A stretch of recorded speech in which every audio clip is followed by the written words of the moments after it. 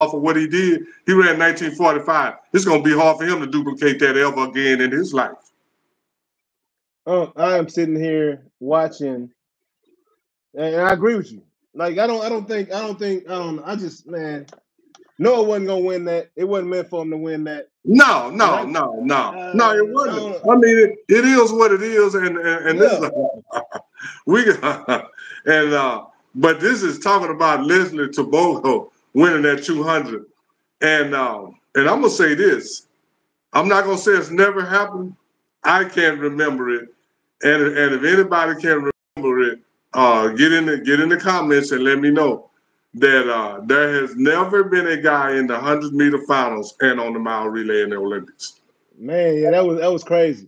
Now it's some people that that can do it, and that's uh, who should be doing it is Fred Kerley. Because see, Fred Kerley already got a bronze medal in the 400 meters, and he got a silver in the 100. So if anybody should be doing it, it's Fred Kerley. And uh, but we started off talking about the relay, and we got off. But anyway, man, the, our system is terrible, and uh, the athletes and the coaches was terrible because all you had to do is take Kenny Bednarek and put him on the end. But instead, you put him on two and move Fred Kerley on the end instead of moving, instead of putting in one person. That's like putting in two new people. Yeah. And uh, who, who, and, who, who, are you talking about? The uh, when, uh, when they moved the guy on, on the four by one. See, yeah. in the prelim, Fred Kerley ran two. But then when yeah. they got ready to get in the finals, they took Courtney Lindsey off the end and put and then moved Fred Kerley over there and then took Kenny Bednarek and put him in Fred Kerley's place. But all they had to do was leave Fred Kerley over there and put Bednarek on the end. And that's just one mm-hmm. person. Yeah, no, nah, but and, they, and, they, and that was they, they disrespected. They, dis- they disrespected the event by doing that, man. Like, yeah, like you said, it's it's teams that prepare for this and they practice, and you can tell it's teams like can't who I don't even know who won, but it's a team that do they even have a dude like in the top five, like in the hundred? no, no. You know what I'm saying? But they practice that I event. Think, uh, did did uh, great now. It was like did Canada. no, Canada won it. Canada, Canada won it. Yeah, and they, yeah, and, and, and Andre De Grasse was in there. You know, uh, uh, but, in the two. But, was was he in the two hundred final? What, but he, what did he place though? What in the no, no, he was in the two hundred final. But you know, Canada won it last time because America did the same thing last time. They practice. Yeah. You know, they practice. They got a set group of guys that practice. Same group of guys. Changes. They know they're gonna be. If one yeah. goes down, but, they know it's gonna go where they're gonna be, and they they practice. They yeah, practice but see, Canada, Canada pays for that. But this is the thing: mm-hmm. if uh, if uh, if uh, Fred Kerley and and those guys want to practice together, they got to pay for it themselves. Yeah, that's insane. And they're not gonna do that, and I wouldn't either.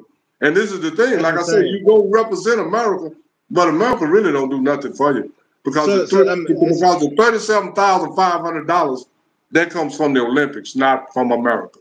And you represent America. I, I, I don't want to say it, it's like the military, but it's like the military if you represent yeah, America. You represent your country, but you, you know and, it's, and, it's, kind of like the military. You represent yeah. your country, but you don't get nothing for it. yeah, and they got. I mean, they, they they make more money in the all Navy games, and the all Marine games, and the all yeah. Air Force games yeah. than they do with the Olympics. You know what I'm saying? Yeah, they do. That's that's wild to me. That is wild to me. Yeah, and uh, and and, and, and uh, you know, going going on with track and field because we can talk about that all the all the, all the time. And, and, uh, Let, let's talk about this breakdancing real quick. Did you see that Australian breakdancer that everybody talking about? My boy was straight foolishness out there. Well, like it all depends what, on who you. You know who I'm talking about? Yeah, yeah, yeah. I saw the I saw the breakdancing. The, the, but the Australian dude that didn't, he wasn't breakdancing. He was making a mockery of the craft. Is what yeah. was going on. That that was. like you thought that was break. You think he was really trying? You think he practiced, or he just went out there and just? I know what real breakdancing is. Yeah, and that wasn't you know, it. and I'm saying like this, you know, for for for me, if I was scoring it, they none of them scores wouldn't have been that high. I mean, because well, I'm saying, you know, you know, you need to go to some of the people that started breakdancing, know what break what real breakdancing is, and let them judge it. Don't you yeah. come in and uh, take over, and you don't really know what it's all about. Then now you can judge it and say that somebody's better than me when you really don't even Cause to cause to me, what they were doing was not real